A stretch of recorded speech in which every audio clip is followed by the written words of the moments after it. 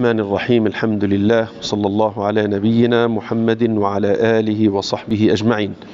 الإمام البخاري اللي لستو حديث نوليفرو دا أبو لسون آه، كتاب الوضوء ديزيندو صبري عبد الله بن عباس وكمبانيرو دو بروفاتا محمد صلى الله عليه وسلم كيالي أبلويو آه، سي. لافو هوستو بريميرو pegou um punhado de água, lavou a boca. Aspirou a água no nariz, colocou na boca e aspirou no nariz e depois ele tirou. Em seguida pegou um punhado de água e fez assim, juntamente a outra mão, e levou ou, ou e lavou o seu rosto com as duas mãos. O Imam al-Bukhari ele quis citar esse hadith nesse local para mostrar para nós que o profeta Muhammad sallallahu alaihi wasallam ele lavou o rosto com as duas mãos sendo que tem outro hadith do profeta Muhammad sallam que ele lavou o rosto com uma mão só. E alguns ulama disseram que para lavar o rosto deve ser lavado com uma mão só. Os detalhes que os companheiros do profeta Muhammad sallam passaram para nós para que a pessoa siga exatamente aquilo que o profeta Muhammad sallam fazia no wudu, na oração e nas demais questões da adoração. E eles não passavam nenhum detalhe a mais do que o que era feito pelo profeta Muhammad. O Imam al-Bukhari ele citou esse hadith aqui para mostrar para nós que o profeta Muhammad, que a paz de Deus seja com ele, também ele lavou o seu rosto com as duas mãos e não somente com uma. Uh, então ele disse aqui que tem outro hadith que dizia que o profeta Muhammad ele lavava com uma mão só. Com certeza aquele hadith nos mostra que quando o profeta Muhammad sallam jogava a água numa mão, ele lavava com uma, a outra mão o rosto. Agora, esse hadith, Abdullah ibn Abbas, ele mostra para nós que o profeta Muhammad sallam, da maneira que Abdullah ibn Abbas passou para nós, ele colocou a água numa mão e depois a juntou dessa maneira. Então, com as duas mãos, e ele lavou o seu rosto com as duas mãos, abrangendo uh, todo o rosto. E uh, juntou a outra mão e lavou o seu rosto com as duas mãos.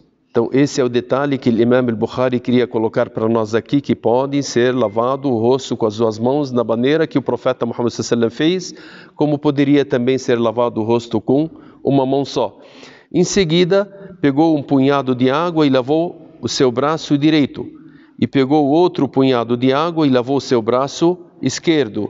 Em seguida, passou a mão molhada na cabeça em seguida pegou um punhado de água e jogou sobre os seus pés, sobre o seu pé direito e até lavá-lo.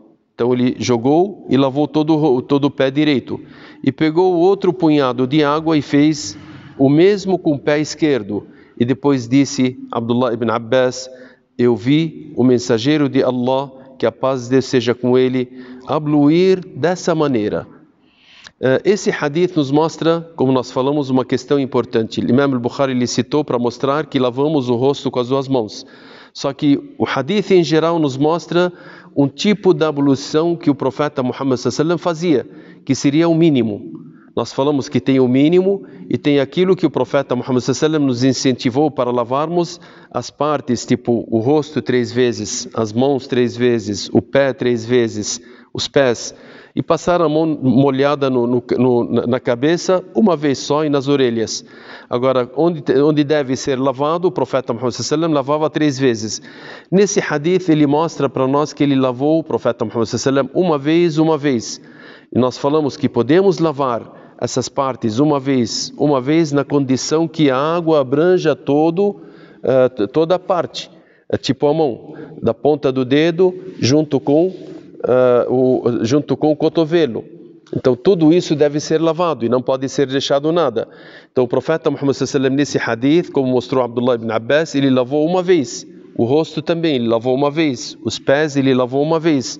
Na condição que essa vez que todo órgão deve ser lavado e deve chegar a água nele. E não de passar a mão molhada. Não, lavar é uma coisa e passar a mão molhada é outra coisa. Passar a mão molhada somente na cabeça e nas orelhas. Agora, nas demais, tem que lavar e lavar é você deixar com que a água saia, nem que se pingar três pingos de água. Isso é lavar, é você passar a água lavando e que a água deve escorrer, deve correr no, no, no órgão. Uh, aqui as pessoas podem perguntar: uh, o punhado que o Abdullah ibn Abbas ele pegou e mostrou para nós que o profeta Muhammad sallam ele tinha feito isso. Esse punhado ele dava para lavar essas partes. Os ulama disseram que uh, o profeta Muhammad sallam o mínimo que ele usou de água para fazer o mínimo de ablução foi uh, menos que um litro. Uma medida chamada al-mud. Al-mud é mais ou menos um litro ou um pouquinho a menos. E eles disseram, não é toda vez que o profeta Muhammad sallam somente usava o mud. Às vezes, ou na maioria das vezes, ele usava isso. Mas o importante é você usar a água até que abranja as partes que, que, devem ser lavadas. E não usar exatamente aquela, aquela medida e você chega a não deixar as, a, a, algumas partes dos seus órgãos uh, a, não serem lavados. Então você tem que lavar totalmente o órgão que você lava sem deixar uh, nem um lugar, nem que se for o mínimo. E o profeta Muhammad sallam, ele nos ensina para que a gente não não exagere no gasto d'água. Isso nos ensina que, que a pessoa não pode exagerar.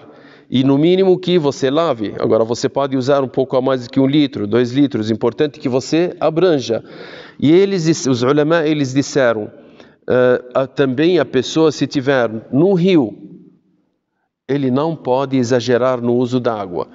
E se ele tiver com pouca água, ele não pode deixar faltar nada da, daquilo que ele vai lavar sem ser lavado, porque se ele deixar alguma parte, então a ablução dele não será aceita e assim a oração dele também não será uh, aceita por ter deixado alguma parte da ablução. Esperamos que Allah subhanahu wa ta'ala nos ensine aquilo que nos beneficia nesse mundo e no outro mundo. Sallallahu ala nabiyyina Muhammadin wa ala alihi wa sahbihi ajma'in. Walhamdulillahi rabbil alamin.